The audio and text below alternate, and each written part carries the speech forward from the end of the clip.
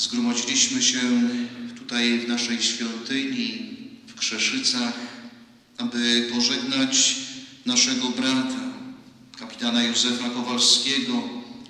Na pewno jego śmierć napełniła bólem wielu z nas, rodzinę, ojczyznę. Czyny płynące z miłości do Boga, do ojczyzny, do człowieka. Można by było streścić w słowach Bóg, honor i ojczyzna wypełniały codzienne życie świętej pamięci Józefa, w którego pogrzebie dzisiaj uczestniczymy. Nasz drogi zmarły, kapitan Józef Kowalski był jednym z tych, których Bóg dał Chrystusowi, naszej ojczyźnie, rodzinie, nam ludziom. Ale 7 grudnia obiegła nas smutna wiadomość, że zmarł najstarszy Polak, kapitan Józef Kowalski, któremu Bóg dał przeżyć 113 lat życia, uczestnik Bitwy Warszawskiej w 1920 roku.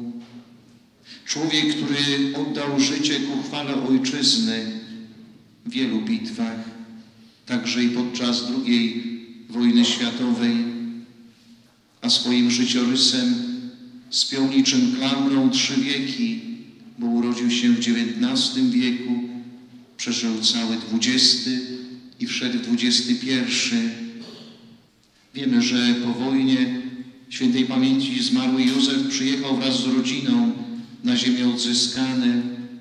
Wpierw osiedlił się na Górnym Śląsku Góry Świętej Anny, a potem do wsi Przemysław koło Krzeszyc i tam przejął opuszczone gospodarstwo.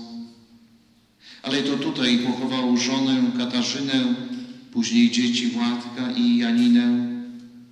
To na tej krzeszyckiej ziemi, tutaj do 1990 roku uprawiał 9 hektarów ziemi, zajmował się hodowlą.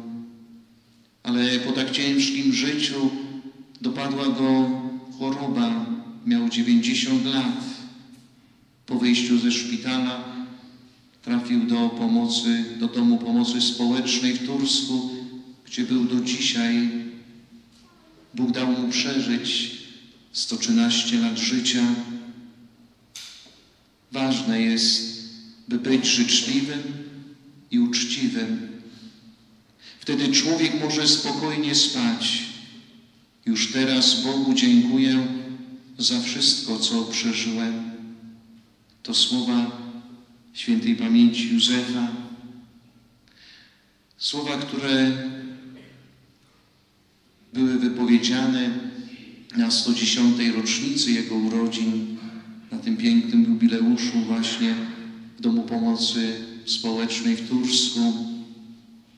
Drogi zmarły kapitanie Józefie Kowalski, ukochałeś polską ziemię, wiernie jej służyłeś.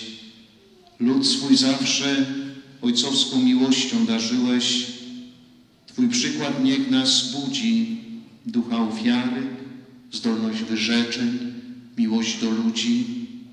Chociaż ciężką miałeś drogę krzyżami znaczoną, byłeś dobrym człowiekiem, dobrym żołnierzem, ojcem, mężem. Niech Twój święty patron, święty Józef, błogosławi naszą ojczyznę, każdą rodzinę, aby świadczyła miłość słowem i czynem. A Ciebie, dobry Bóg, niech przyjmie do swojej chwały i da Tobie cieszyć się życiem wiecznym, życiem, do którego wszyscy zmierzamy.